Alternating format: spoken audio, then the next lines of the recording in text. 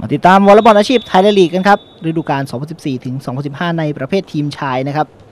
ก็แข่งกันที่สนามบีจีฮอลล์จังหวัดปทุมธานีนะครับ เกษตรศาสตร์วีซีเปิดบ้านพบกับทีมวิง 46 โตโยต้าพิษณุโลกที่กำลังต้องการชัยชนะเพื่อลุ้นแชมป์นะครับ ก็วิง 46 โตโยต้าพิษณุโลกก็อยู่ในเสื้อสีแสดเมื่อสักครู่นี้ฮะ ตอนนี้เป็นสิทธิชัยโพชกะนะครับ ตัวรับอิสระคนใหม่ของทีมที่มาร่วมทีมในเล็กที่ 2 นะครับ ธีรศักดิ์นาคประสงค์ครับผู้เล่นทีมชาติไทยของพิษณุโลกจะเสิร์ฟครับเกษตรศาสตร์อยู่ในเสื้อสีเขียวนะครับชัยนรงค์ยกขึ้นมาแล้วชุติพงศ์ตีลูกนี้โอ้โหเป็นแต้มครับว่าทำได้เยี่ยมครับ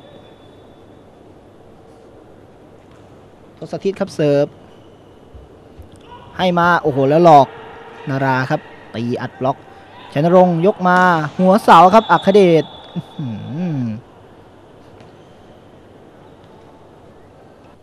ทำคะแนนกับทีมได้สุภชัยครับ เสิร์ฟมา โอ้โห แล้วตียกขึ้น 3 เมตรหลังรัชภูมิให้สุภชัย จิตจำรูนตีบอลเร็วแต่ว่ายังเก็บไว้ได้ครับ แล้วให้มาตรงนี้กฤษดาส่งให้ตีมือซ้ายครับ โอ้โห แล้วได้แต้มด้วยครับแหมมือขวาไม่สะดวกแล้วฮะต้องตีมือซ้ายก็ทำแต้มได้ อ้แล้วเล่นคืนมากฮะลูกนี้ทีมเกษตรศาสตร์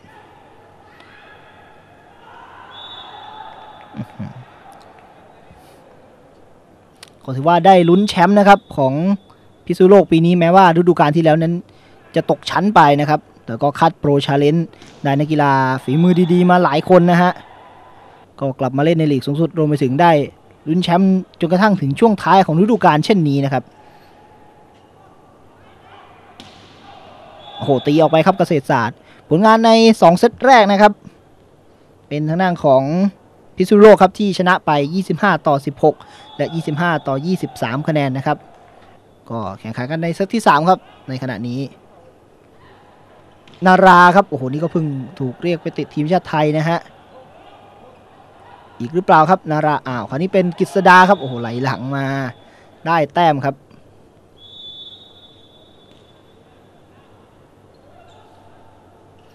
อ้โหโชติวัฒน์แม่ไปเบิ้ลบอลนะฮะ เป็นบอลสองจังหวะ เสียคะแนนไปครับพิษณุโลกจังหวะเมื่อสักครู่นี้อบอลแรกไม่ค่อยดีเท่าไหร่ ต้องแก้ไขครับ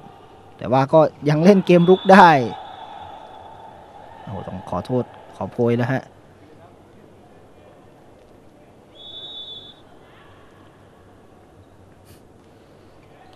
ก็สรุปผลการแข่งขันในคู่นี้นะครับ วิง 46 โตโยต้าพิษณุโลกเอาชนะไป3ต่อ0เซตนะครับ 25 ต่อ 16 25 ต่อ 23 แล้วก็ 25 ต่อ 17 คะแนนนะครับ ก็ทำให้พิษณุโลกยังได้มีโอกาสลุ้นแชมป์ต่อไปนะครับ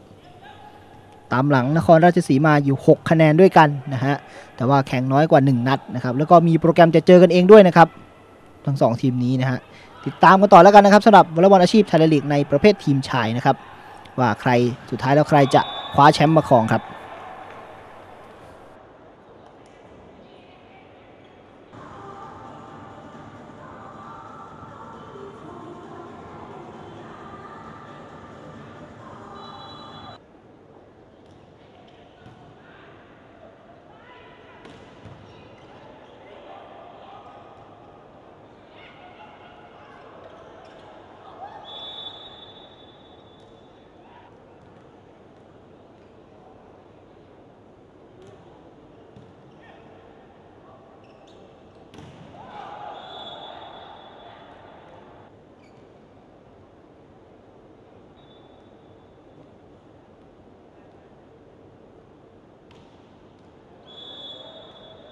เอ่อ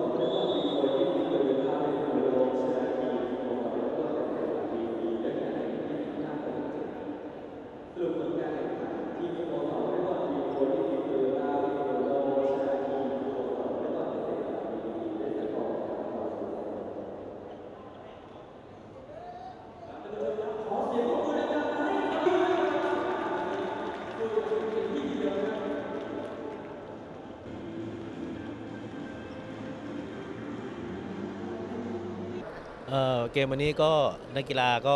แยกกันซ้อมเหมือนเดิม แต่นักกีฬามีความฟิตขึ้น เพราะว่ากฤษดาไปกฤษดาแพทกีฬาทบอเขาเขาซ้อมดีซ้อมดีฟิตเลยใช้ได้ ส่วนผมก็ซ้อมเด็กอยู่ที่พิโลกก็มามารวมกันก็รูปแบบเหมือนเดิมราชภูมิวันนี้ราชภูมิรับดีมากน้องต้าน้องต้าตัวนี้ก็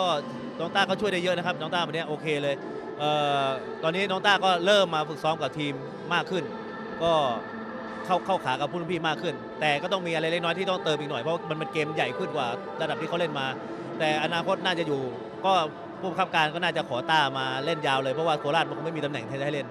แล้วเราก็อยากได้อยู่เหมือนกันครับก็วันนี้เราก็เล่นกันเต็มที่ตามเท่าที่มี เพราะว่าเอ่อเบอร์ 12 เราตัวหลักเราเจ็บนะครับแต่ว่าน้องๆก็เล่นกันตั้งใจได้ดี คนที่เปลี่ยนลงไปก็สามารถทำผลงานได้ดีครับ ข้อผิดพลาดของเราเอ่อเล่นเสียเองง่ายไปหน่อยนะฮะทำให้พอแต้มห่างเนี่ยเราจะไล่ยาก เพราะฝั่งตรงข้ามเขามีประสบการณ์สูง